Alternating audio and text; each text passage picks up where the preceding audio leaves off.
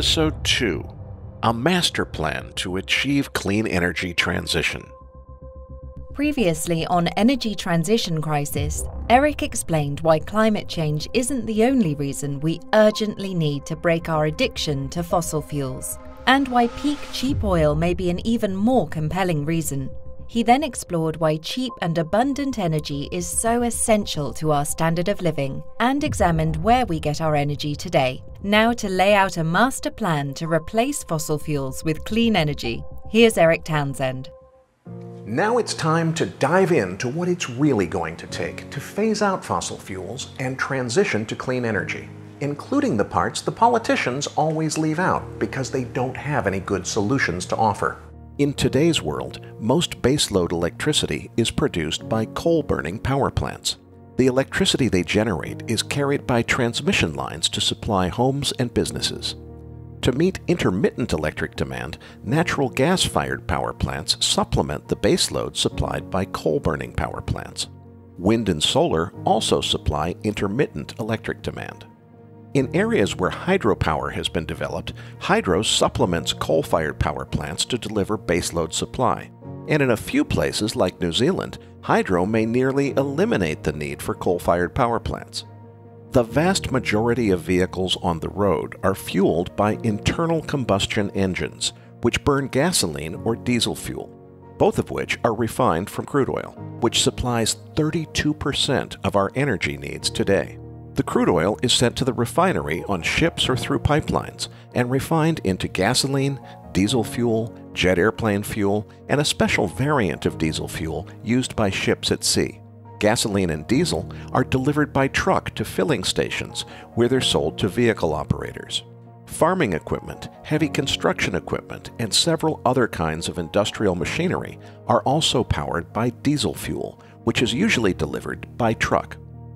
To phase out fossil fuels, the solution begins with replacing most internal combustion engines with electric motors. For passenger cars and many other vehicles, rechargeable batteries replace the fuel tank of conventional vehicles, and the electric vehicle is recharged by connecting it to a charging station supplied by the electric mains. A common misconception is that electricity is a greener alternative to fossil fuels for powering vehicles. That's not the right way to think about it. Electricity is a clean and efficient way to transmit energy from where it's produced to where it's needed.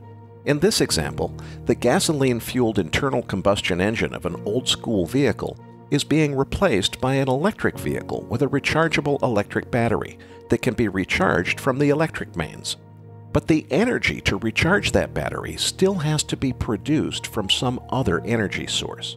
In this case, a combination of coal and natural gas. Some of the energy needed to recharge the vehicle battery might come from solar, provided the vehicle is being recharged during daylight hours on a sunny day. It's important to understand that replacing internal combustion engines with electric vehicles doesn't stop carbon emissions. Rather, this moves the pollution from the vehicle itself to the coal or gas fired electric power plant that burns fossil fuels to produce the electricity needed to recharge the electric vehicle. The only exceptions to this are in rare locations such as New Zealand, where almost all electricity is generated from hydropower or other sources that don't burn fossil fuels to produce electricity. So replacing all the internal combustion engines with electric motors powered by rechargeable batteries is only the first step towards eliminating greenhouse gas emissions. To finish the job, we need to replace all the fossil fuel burning electric power stations with clean energy alternatives that don't produce greenhouse gas emissions. Politicians would have you believe that wind and solar alone will solve this problem they don't have any realistic solutions to propose, so they appeal to your emotions by talking up a wind and solar utopia, where all our energy needs are satisfied by clean, renewable wind and solar energy, and we all live happily ever after. They neglect to mention that every solar array and wind turbine ever built to date combined supplies less than 2% of energy demand, or that we would need to build at least 50 times more new wind and solar in the next 25 years than we managed to build in the last 25 years to even begin to solve the problem. Nor do they explain where all the land would come from to build all those wind farms and solar arrays. Remember, wind and solar are intermittent energy sources. It's possible to store the energy they produce in batteries and then use those batteries to supply the electric grid when the energy is needed. But batteries introduce inefficiencies, meaning not all the energy used to charge the batteries comes back out of the batteries. So using this approach would require building even more than 50 times as much new wind and solar in the next 25 years as we were able to build in the last 25 years. It would also require a staggering supply of battery metals we don't have a source for, since all the battery metals we can possibly hope to mine will be needed for electric vehicle batteries. And to be clear, even if we replaced every single coal and gas fired power plant on the face of the earth with clean renewable alternatives, we'd still be less than halfway to solving the problem. Remember, in today's world, 32% of our energy is supplied by crude oil and the fuels refined from it. But now we're talking about getting rid of all the internal combustion engines that rely on oil and replacing them with electric motors. That means we don't just need to replace every single fossil fuel burning electric power station on Earth with a clean alternative. That's just what's needed to replace the electricity we already have. To phase out crude oil by replacing internal combustion engines with electric motors will almost double electric demand, and after accounting for expected growth between now and 2050, it will more than double. The bottom line is that we're going to need 160,000 terawatt hours of thermal energy to produce about 80,000 terawatt hours of electricity by 2050. I'm going to continue to reference thermal energy figures because even some renewables, such as geothermal, involve the same inefficiencies as fossil fuels when converting heat energy into electricity. Just keep in mind that 1 terawatt hour of wind or solar electricity is just as good as 2 terawatt hours of thermal energy from other sources. But that's only true when the wind or solar energy is being consumed as it's being produced, rather than being stored in batteries. Building 80,000 terawatt hours of clean electric power generation capacity by 2050 means building more than twice as many electric power plants in the next 25 years as has ever been built ever before. And that would be a daunting challenge if we were just talking about new fossil fuel burning power plants using well developed technology. To do it all with clean energy is going to be a monumental challenge and to count on wind and solar alone meeting all of our needs for both baseload and intermittent electricity is just plain ludicrous. Remember, even with government subsidies helping the cause, we only managed to build less than 3,000 terawatt hours of wind and solar combined in the last 25 years. The cost of solar in particular has come way down, so we can build a lot more than 3,000 terawatt hours in the next 25 years, but not that much more. To be clear, I'm not against wind and solar. Every bit of wind and solar we can realistically build in the next 25 years will be a welcome source of intermittent supply that could provide as much as 35% of the 80,000 terawatt hours of total electric generation capacity required to phase out fossil fuels. My point is simply that it's long past time to get serious about figuring out where the other 65% is going to come from. And it's going to have to be baseload power to complement the intermittent wind and solar that's already being built. All the politicians' talk of electric vehicles, wind turbines, and solar arrays always leaves out any credible analysis of scale. As soon as you take a serious look at this problem and analyze what's really needed to phase out fossil fuels, it becomes resoundingly clear that we don't even have a plan for how we're going to build new clean energy electric power plants at anything remotely close to the scale needed to phase out fossil fuels by 2050. For most energy needs that don't physically move around, direct supply of electricity is the best way to get energy from where it's produced to where it's consumed. For passenger cars and most other vehicles, rechargeable batteries that can be charged when the vehicle stops and connects to the electric mains are the way to go. But some machines, such as ships at sea and certain types of heavy construction equipment, use so much energy that rechargeable batteries can't hold enough juice to meet the need. That's where hydrogen and ammonia liquid fuel come in. There's been a lot of confusion about hydrogen in green energy circles. Similar to electricity, a lot of people mistakenly think hydrogen is an energy source that could be an alternative to fossil fuels. That's just plain wrong. Although hydrogen is an element occurring in nature, there are no natural sources for pure hydrogen needed to make hydrogen fuel cells. Rather, hydrogen must be produced by consuming energy from some other source, such as wind or solar. So the right way to think about hydrogen is not as an alternative to fossil fuels, but rather as an alternative to batteries. Just as a battery provides a way to store energy so that it can be used when the vehicle is not connected to the electric mains, hydrogen achieves the same thing. But it can store more energy per unit of weight than current generation batteries. It's another way of getting energy from where it's produced to where it's needed. This makes hydrogen an excellent option for powering heavy equipment that requires more energy density than batteries can supply. Ammonia liquid fuel is similar to hydrogen in the purpose it serves, but it's less well known. Its big advantage is that it can fuel existing diesel engines without any carbon emissions. Ammonia is a dangerous gas, so handling it presents some challenges, but it may be the best option for fueling ships at sea, which consume far more energy crossing an ocean than could possibly be supplied by electric batteries between recharges. Just like hydrogen and electricity, Making ammonia liquid fuel consumes energy that must be produced from some other energy source, such as wind, solar, or hydropower. To summarize, the energy transition begins with replacing internal combustion engines with electric motors, but that's only the beginning.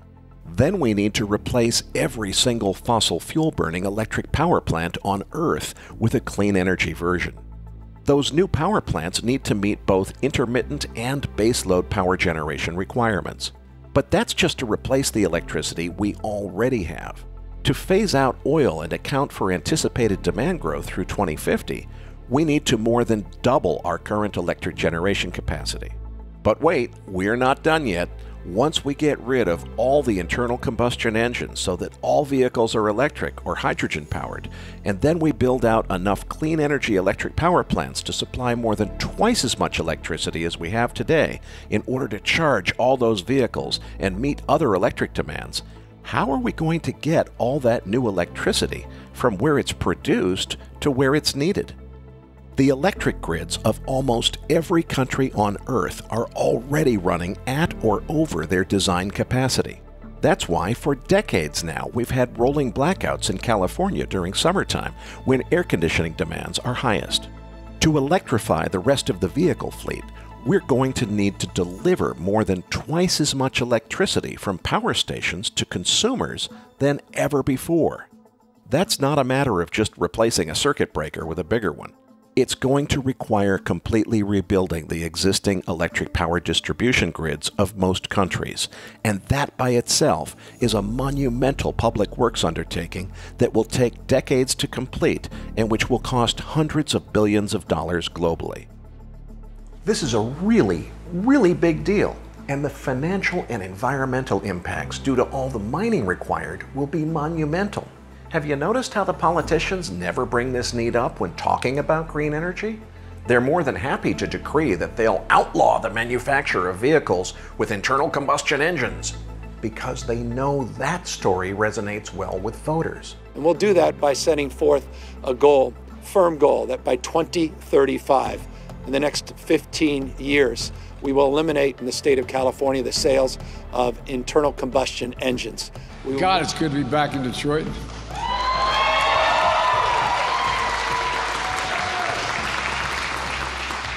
And that Hummer's one hell of a vehicle, man. But they have no credible plan for where the electricity to recharge a fully electric vehicle fleet would come from, or how it would be delivered to consumers. They don't want to be honest with you about the challenges we face unless they have a good solution that they can personally take credit for.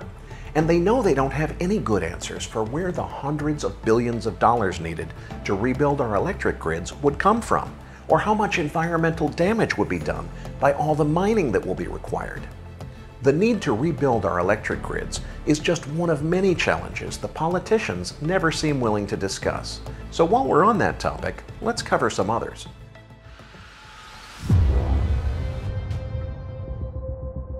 Less than 5% of the vehicles on the road today are electric. The other 95% need to be replaced with electric models, and that's going to cost more than anyone wants to admit. So far, electric vehicles have been a status symbol that only affluent people can afford. But the worst pollution comes from the oldest, lowest value vehicles that tend to be owned by low income people. Telling a guy who's already struggling just to feed his family on his meager salary that in the name of the environment, he has to trade in his 20 year old pickup truck for a new $80,000 Tesla just isn't going to work unless someone else foots most of the bill. Electric vehicles require an enormous amount of copper for their electric motors, and the lithium ion and lithium polymer batteries they run on require large amounts of nickel, cobalt, lithium, and manganese.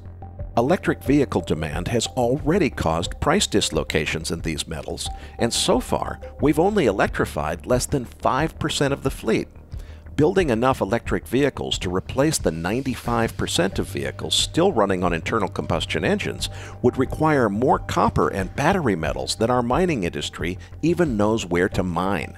So, mining the battery metals needed to make electric vehicles is going to be a nearly impossible challenge, and it will take a huge toll on the environment. To try and simultaneously make enough batteries to allow wind and solar to become baseload power sources is crazy it will already be an immense financial and environmental challenge just to mine enough battery metals to electrify the vehicle fleet. Disposal of worn out lithium ion and lithium polymer batteries will create an environmental risk of epic proportions when the entire global vehicle fleet is running on them. Now, to be clear, these problems can all be overcome.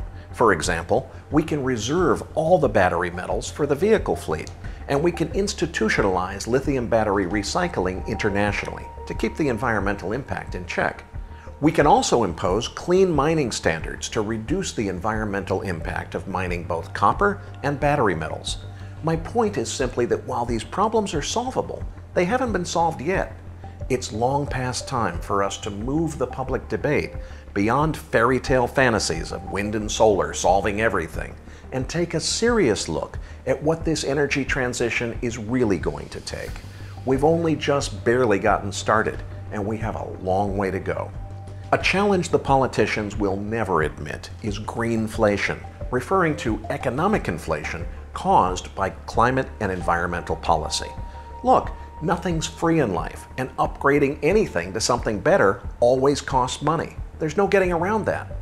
We absolutely must make this energy transition. Our future depends on it, but it won't come free. The most obvious cost is upgrading the vehicle fleet, which will be very expensive.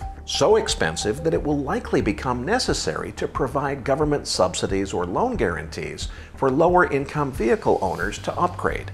But upgrading the vehicle fleet is just the start upgrading the electric grid and building out twice as many new electric power stations in the next 25 years than we ever built in all of history before that is an utterly massive infrastructure investment. And so far, nobody is even discussing where all the money is going to come from. No matter how the financing is worked out, the result will be a cost burden that all of society will have to bear. That means the price of everything will go up, as monetary inflation is caused by all the governmental subsidies needed to build all those new power plants and electric grids. I predict that when the inflation I've described hits the economy, the debate over clean energy transition will become even more politicized and heated than it already is today. Some people will cite the inflation being caused by climate policy as reason to abandon clean energy objectives and just go back to polluting the environment.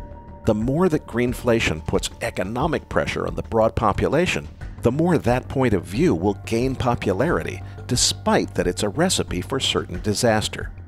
The best way to offset greenflation is to strive to make our future energy supply so much more abundant and inexpensive than it is today that the burden of greenflation during the transition will be paid off many times over by the dividend of cheap and abundant clean energy for generations to come.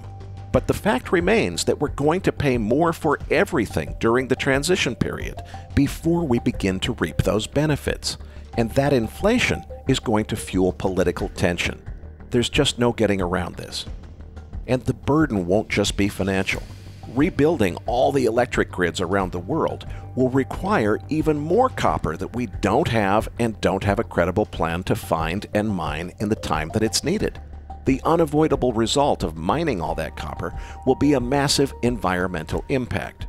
We can reduce the impact by imposing new environmental restrictions on mining operations, but doing so will increase the cost of mining that copper and even further exacerbate greenflation. I'm using copper to illustrate my point, but the same holds true for nickel, cobalt, lithium, and manganese, all of which are absolutely essential to electrifying the vehicle fleet. Now I want you to open your mind and imagine what the world would be like if we seize the opportunity not just to replace fossil fuels with an equal amount of clean energy, but to instead figure out a way to bring online a much larger amount of clean, environmentally friendly energy, while at the same time making it cheaper than fossil fuel derived energy is today. And even cheaper than it was when I was a kid, when gasoline cost just 30 cents a gallon. What if we could figure out a way to replace fossil fuels with new sources of clean, environmentally responsible energy, which cost the equivalent of gasoline prices well below $1 per gallon in today's inflation adjusted dollars, or about 26 cents per liter if you prefer metric units? If energy from fossil fuels made it possible to abolish slavery, made higher education available to the masses, got most of us off the hook for having to work on farms and created a society with hundreds of occupations to choose from. Can you imagine what would be possible if we went through another similar magnitude increase in the amount of cheap and abundant energy available to advance our standard of living? If you favor universal basic income and free university education for everyone who wants it, cheap and abundant energy is what would make those policy goals attainable and it would mean the standard of living now enjoyed only by affluent people in first world countries could be shared with the entire human race. I'm convinced that vision for the future is attainable. If we could just get serious about this energy transition and stop wasting time on politicians' fairy tales and broken promises.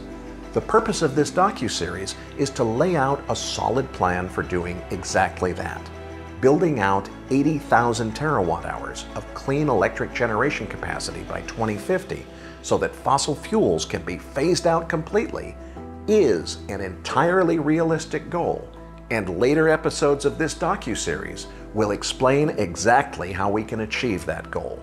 But unfortunately, we've already waited far too long to get serious about solving these problems.